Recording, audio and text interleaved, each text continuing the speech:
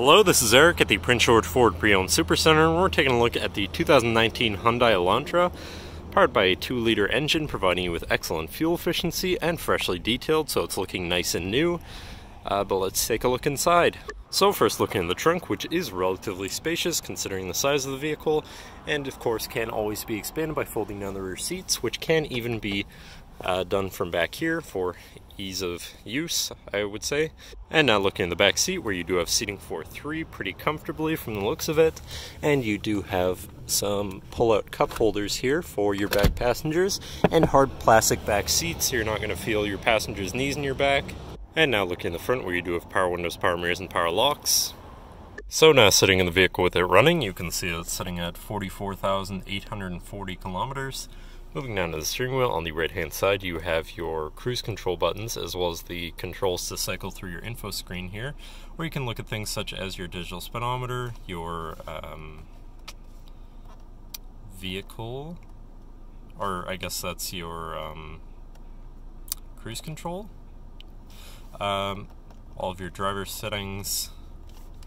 Let's see, you can also cycle through your drive mode, your fuel economy, your trip information, such as your mileage and uh, fuel economy on said trip for your trip A and B, I would say.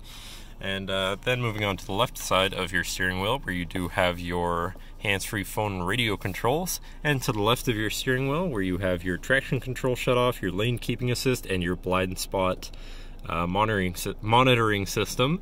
So uh, vehicles coming out of your blind spot will not be a complete surprise to you. Moving on though to your center, your infotainment screen, which is uh, radio, radio auxiliary, USB, and Bluetooth, I believe. Do also have Android Auto, CarPlay, um, and I believe that is it. But that is quite a few options for whatever you want to listen to, however you want to listen to it. But then shifting into reverse, you do also have a backup camera, so you're going to be able to see where you're going and hopefully avoid hitting anything. But then moving on from that, you have your uh, media controls all right here. Then you have your climate controls, pretty simple, just on three dials. Below that, you have this cubby with a 12 or two 12 volts USB and auxiliary, so you can either plug something into power or charge, or just hook up your audio that way.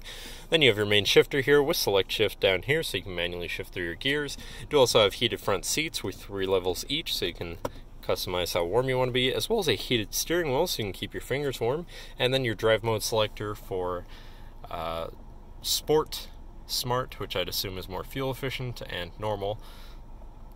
So that's always nice. You can customize your driving a bit.